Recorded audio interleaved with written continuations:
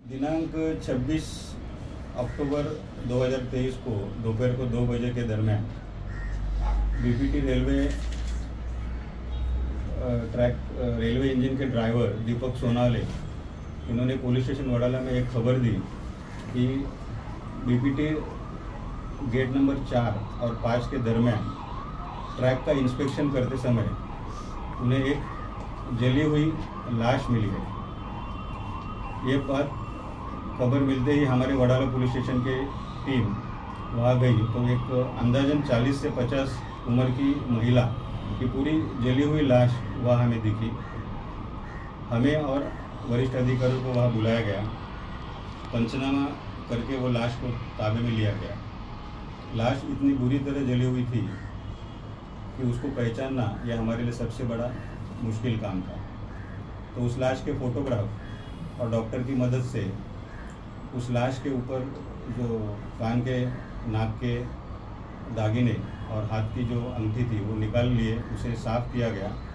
और जो भी उसका फ़ोटो था और ये दागिना का फ़ोटो के पोस्टर्स बनाए गए और पूरे एरिया में वडाला चिंदी गली बंगालीपुरा संगम नगर वडाला टीटी आरे के माटुंगा, ये नज़दीक के सभी परिसर में ये पोस्टर छपाए गए पोस्टर बांटे गए।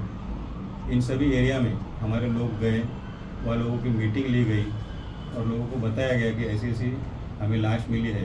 लाश में उसके जो बाल थे, उसको मेहंदी लगाए गए थे और इसी मेहंदी की वजह से वो लाश हमें, लाश का डिटेक्शन दो दिन बाद हमें अट्ठाईस तारीख को मिला। अट्ठाईस तारीख को हमें ये इन्फॉर्मेशन मिली कि दोस्ती एटर्नल इस बिल्डिंग के फ़र्स्ट फ्लोर में जो एक लेडी रहती है, वहाँ ये औरत काम करने जाती है। तो वहाँ इंक्वायरी करने के बाद वो जो लेडी है, वो तीन चार दिन से काम करने आई नहीं, ऐसा पता चला।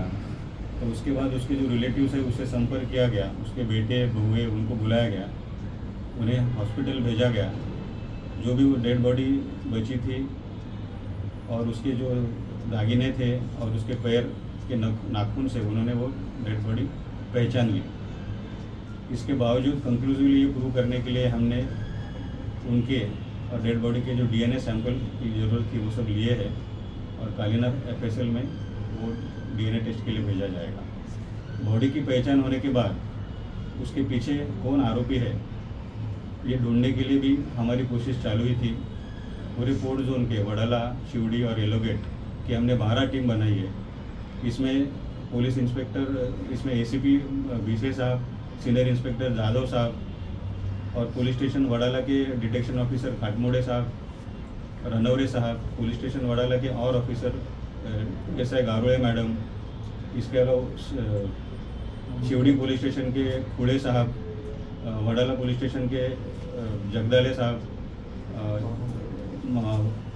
Mamunkar PI Wadala police station के, फिर येलोगेट पुलिस स्टेशन के शेड़के साहब, उनकी टीम शिवड़ी पुलिस के काड़ेकर साहब, उनकी टीम, ऐसे अंदाजन बारह टीम हमने इसमें फॉर्म किए थे। इन सभी टीम को अलग अलग जॉब दिया गया था। हर इलाके में जाके उस उस महिला की जो तस्वीर हमने हासिल की थी, एक बार आइडेंटिफाई होने के बाद उसको दिखाया, कहाँ कहाँ गई थी, उस हिसाब से तांत्रिक विश्लेषण और ह्यूमन इंटेलिजेंस इस आधार पर हमें ये पता चला कि जिंदी गली के परिसर में 24 तारीख को शाम को छः बजे के दरमियान वो दिखी थी। तो इंटेंसली उस अंदाजन सौ एक झोपड़पट्टी को सर्च किया गया। वहाँ लोगों की पूछताछ की गई। और गोपनीय इन्फॉर्मेशन से हमें यह पता चला कि ये जो आरोपी है जिसे हमने अरेस्ट किया है, उसके घर में वो छः बजे गई थी। आरोपी को विश्वास में लेके पूछताछ की गई तो उसने अपना गुना कबूल किया चोरी करने के उद्देश्य से। जो उसने कान में बालियाँ पहनी थी, उसको उसकी चोरी करने के उद्देश्य से उसने उसको मारा। और वो मर जाने के बाद उसने उसको गोली में भर के उसी के घर के पहले मजले से खिड़की पर, खिड़की में से उसने गोली बाहर फेंकी और अंधेरा होने के बाद वापस वो वहाँ गया और गोली को दूर, और दूर ले गया ताकि उस पर कोई शक ना आए। और बाद में उसने वो गोली को जला दिया। ऐसा उसने कबूल किया है। ये केस एक ज्येष्ठ महिला का था, इसलिए हमने पूरी कोशिश की थी और जल्दी से जल्दी पाँच दिन में हमने केस डिटेक्ट किए और आरोपी को सज़ा मिलने के उद्देश्य से इसमें जो भी पुरावा आगे हमें घोड़ा करना है, जमा करना है, वो हम करेंगे। और हमें पूरी उम्मीद है कि इस आरोपी को कड़क से, कड़ी से कड़ी सज़ा मिलेगी। जो महिला थी, जो पहचान की गई है, उसका नाम शुभरबी हुसैन मुल्ला है।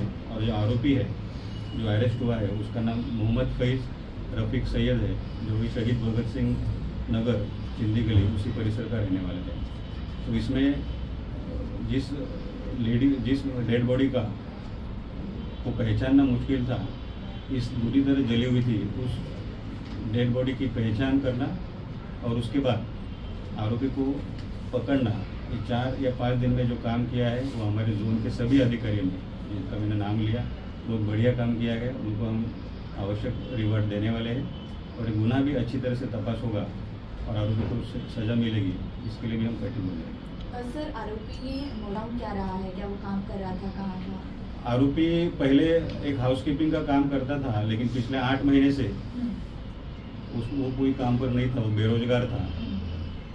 तो इसलिए उसको आर्थिक अड़चन थी और वो महिला का उस, उस उसके घर के सामने से रोज़ आना जाना था तो उसे उसके कान पर जेवर दिखे थे पहले भी और उस दिन उसने चोरी करने के उद्देश्य से उसको घर पे बुलाया और उसने एक कृत्य किया। सर आरोपी एक बोंदू बाबा का काम करता है ऐसा मालूम पड़ा।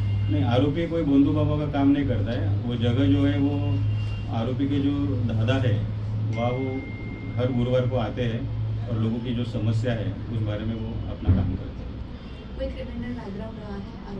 है आरोपी को इसके पहले?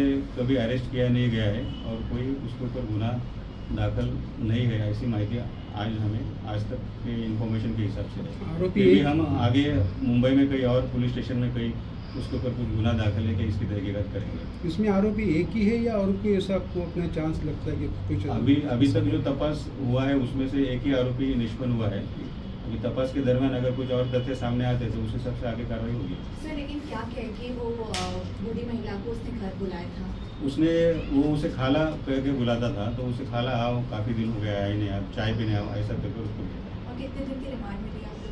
अभी हम कोर्ट में उसको हाजिर करेंगे और बाद में हम रिमांड मांगेंगे